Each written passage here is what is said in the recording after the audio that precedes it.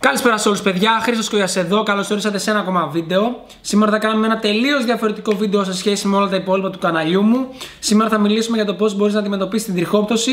Πιο συγκεκριμένα θα μιλήσουμε για το τι κάνω εγώ και όχι το τι μπορείς να κάνεις εσύ. Δεν είμαι γιατρός οπότε δεν έχω καμία δικαιοδοσία στο να σου πω τι πρέπει να κάνεις και τι είναι σωστό να κάνεις. Θα σου πω απλά την προσωπική μου εμπειρία, θα σου πω κάποια πράγματα τα οποία είμαι τελείως κατά και από εκεί και πέρα βλέπεις και κάνεις εσύ μόνος σου πριν ξεκινήσουμε το βίντεο, να σας ζητήσω να κάνετε ένα τεράστιο like και να μου γράψετε κάτω στα σχόλια άμα θα θέλατε στο μακρινό μέλλον να κάνω transformation βίντεο που θα χρησιμοποιώ το συγκεκριμένο προϊόν που χρησιμοποιώ, να το ξεκινήσω δηλαδή να το τραβάω από τώρα κάποια mini clips, να τα ενώσω και να κάνουμε ένα transformation διότι όπως θα δούμε και στη συνέχεια του βίντεο το προϊόν το οποίο χρησιμοποιώ ε, έχει τα full benefits του μετά τον 1 με 1,5 χρόνο και είμαστε ακόμα στους 3 μήνες. Οπότε πιστεύω ότι θα ήταν καλό υλικό, άμα σας ενδιαφέρει αφήστε μου στα σχόλια κάτω και μην ξεχνάτε like like στο βίντεο.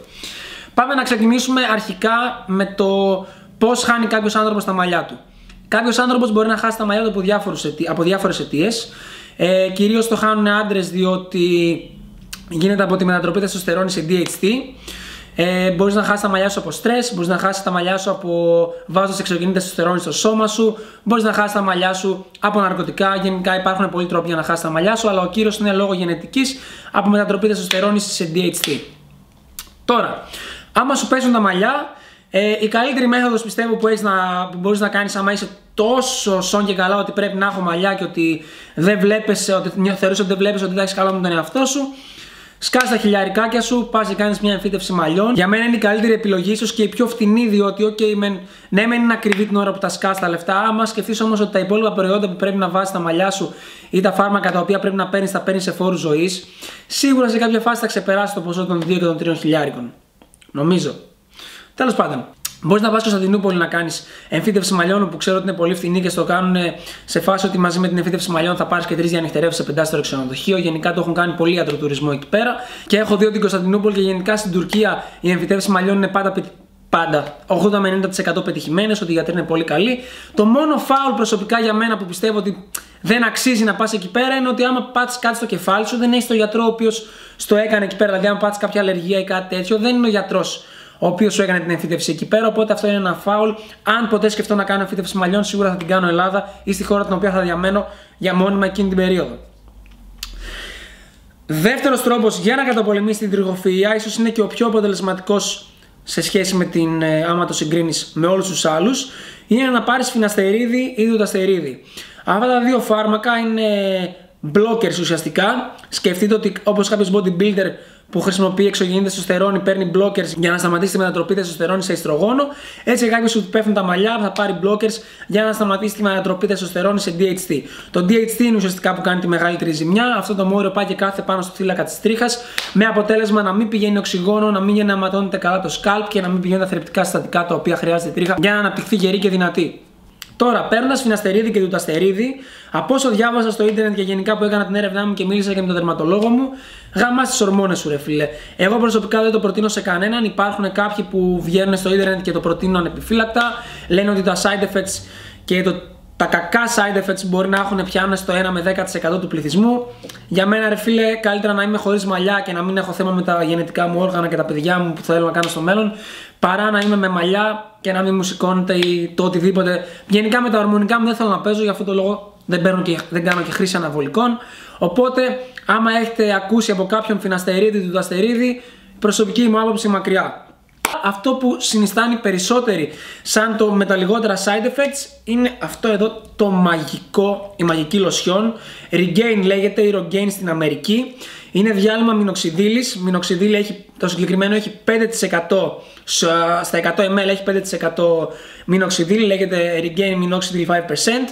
Μπορείς να βρεις σε φαρμακεία custom made μινοξιδίλη, δηλαδή που τη φτιάχνουν μόνοι τους και δεν είναι τόσο ακριβή όσο το brand. Σε αυτό πληρώνεις το brand ουσιαστικά. Βγαίνει 20 ευρώ το μήνα. Και το τι κάνει τώρα η μινοξιδίλη, την απλώνεις δύο φορές τη μέρα στο κεφάλι σου. Ένα ml θέλει, ένα ψήτιν 1 ml, ένα ml σε κάθε περιοχή η οποία έχεις αρέωση το κάνεις μασάζ με τα χέρια σου και αυτό που κάνεις ουσιαστικά είναι να αιματώνει το scalp καλύτερα. Πηγαίνουν θρεπτικά συστατικά και βιταμίνες στα μαλλιά σου πολύ περισσότερο μιας και που γίνεται καλύτερη κυκλοφορία του αίματος. Οξυγονούνται το κεφάλι και μεγαλώνει η τρίχα πολύ πιο δυνατή και πολύ πιο γερή. Είναι η μινοξιδίλη κάτι μαγικό το οποίο άμα δεν έχεις στήλα και θα σου βγάλει μαλλιά. Σε καμία περίπτωση όχι.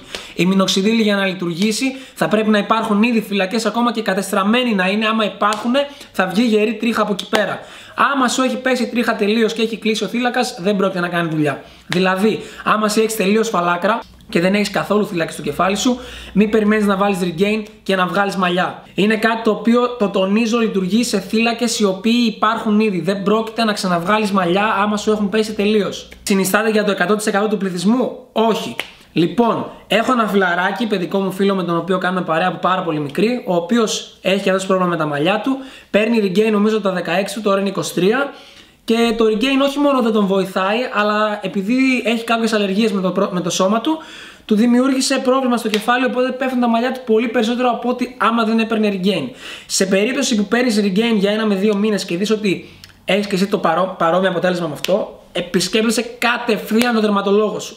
Εννοείται, πριν ξεκινήσεις να κάνεις χρήση του regain, επισκέπτεσαι τον δερματολόγο σου. Δεν χρειάζεται συνταγή γιατρού, απλά είναι καλό να σε δει κάποιος ειδικός πριν ξεκινήσεις να κάνεις μια τέτοια θεραπεία.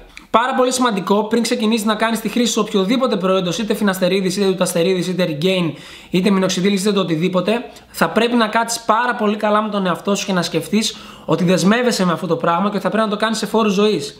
Είναι πάρα πολύ σημαντικό να έχεις στο μυαλό σου ότι άπαξ και σταματήσεις να βάζεις μηνοξιδίλη ή να παίρνεις τα φάρμακα τα οποία προείπαμε, έχουν πέσει τα μαλλιά σου έτσι. Για να σα το δώσω λίγο να καταλάβετε, σκεφτείτε ότι παίρνεις regain για 3 χρόνια, εντάξει; Παίρνεις regain κάθε μέρα για 3 χρόνια, δύο φορές τη μέρα. Για κάποιο λόγο νομίζω ότι έχει κάνει δουλειά που σίγουρα θα έχεις δει καλό αποτέλεσμα στο κεφάλι σου, άμα δεν έχεις κάποιο αλλεργιακό πρόβλημα όπως ο φίλος μου.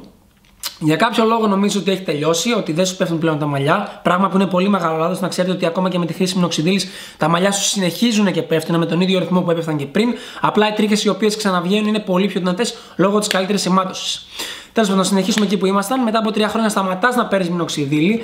Μέσα σε δύο μήνες το κεφάλι σου θα έχει γίνει σαν να μην είχες πάρει ποτέ regain. Οπότε σκέψω ότι μέσα σε δύο μήνες θα χάσεις όσα μαλλιά θα είχες χάσει μέσα σε τρία χρόνια που έπαιρνες χρήση μινοξιδίλη.